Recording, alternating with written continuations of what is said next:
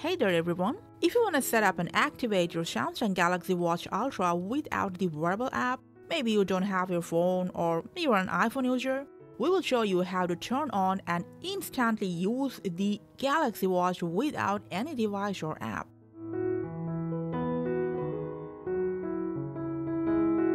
Now first after unboxing, all you have to do is just press on this power button till you see the Samsung logo on your watch screen. Wait a couple of moments when the watch turns on. Now when you end up in this section, press and hold this wearable logo until you see the prompt starting on your watch face. Release your finger. Once again, just wait a few seconds when your watch properly turns on. In a moment, you'll end up in your watch face and you can start using it instantly without any phone or app. Thanks for watching.